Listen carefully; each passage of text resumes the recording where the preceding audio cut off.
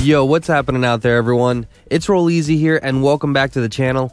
In today's video, we're going to be talking about the big news that we just got today. Rockstar has released the trailer for the brand new Nightclub DLC. Now, if you want to go ahead and look at that trailer, I'm going to leave a link to Rockstar's Newswire page, and just go ahead and click on that, watch the video. So pause my video right now, watch that video, come back to my video and then keep watching it all right? So you know there's no little spoilers. I mean it's a one minute trailer but still check it out and then come back to my video and keep watching it.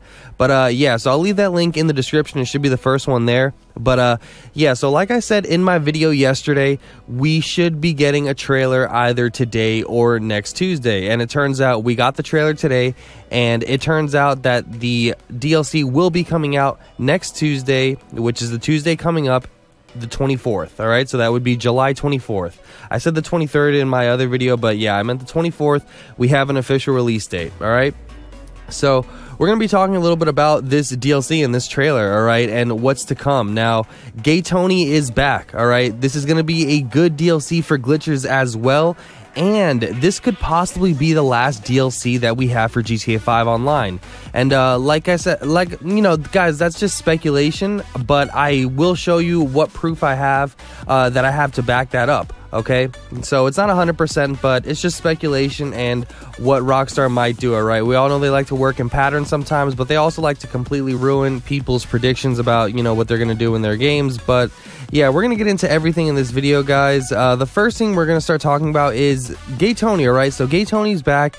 Uh, for some of you younger players who might not know the history of GTA, Gay Tony was first introduced in a DLC in GTA 4. It's called The Ballad of Gay Tony. Okay, so that was a DLC back when GTA 4 was out, and it was great. It was an action packed DLC. Uh, everybody loved it. I really didn't hear any complaints about uh, The Ballad of Gay Tony. It was a really, really good DLC. Now, it ran parallel to the original story, which pretty much everybody liked because the one that came out before that was all about the Lost Biker Club, and it just kind of you know went away from the storyline, and it was it was it was it, okay. It wasn't bad. It was just not that great. Okay, so that's the best way I can put that. Not bad, but not that great in my opinion.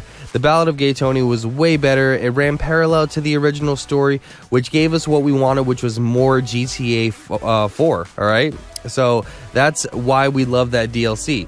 Now, they delivered 100%. All right. The only bad thing that they probably gave us was the APC, and that was the first time they actually ever introduced the APC. And it had the same, pretty much the same cannons that it has in uh, GTA 5, but those cannons are just, you know, they're they're shit. Honestly, they're terrible. So.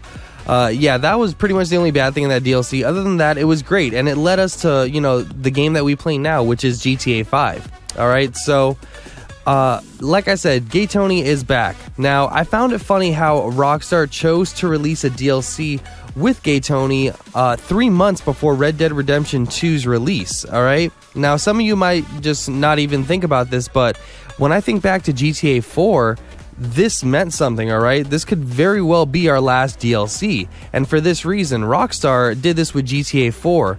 The Ballad of Gay Tony was the last DLC GTA 4 ever had, all right? It was great, but it pretty much ended the entire game right there. That was it after that.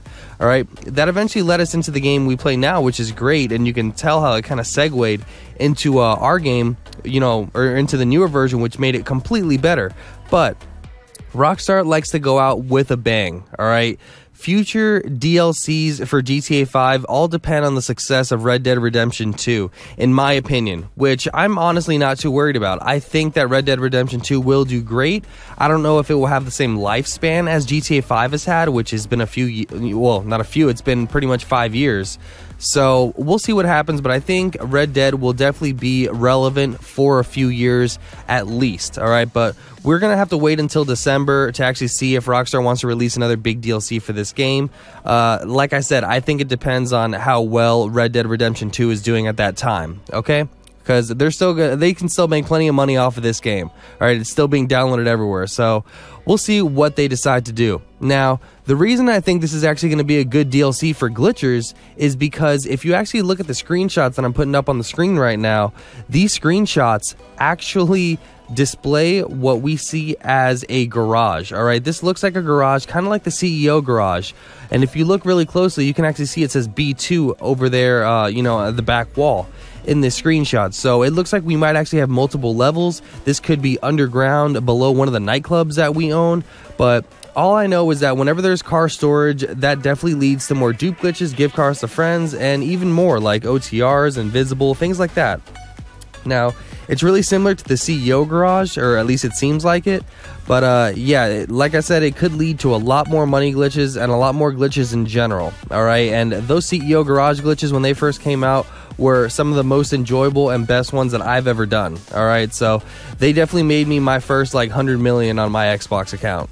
Now, the other things that they actually teased in the trailer are some really, really nice cars. In that parking garage, you can actually see that like Iron Man S car that uh, that Tony Stark actually had in his garage in the movie. It looks pretty much exactly like that one. So we could be getting some really, really cool vehicles. We definitely are going to be getting them. It's a nightclub DLC, and as well as the stretched Hummer. All right, or the Patriot, I guess is what they're going to call it in the game. But basically, everybody knows it. That's a Hummer in real life.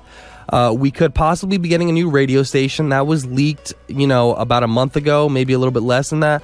But a new radio station with a lot of electronic music.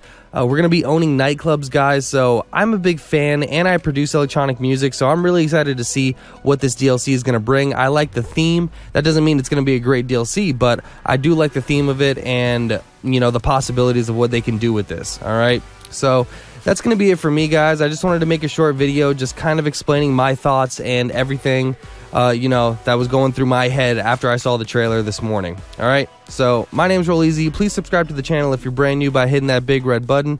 Turn on post notifications and drop a fat like on this video and the rest of my videos for the freshest and the most informative dope GTA 5 online content.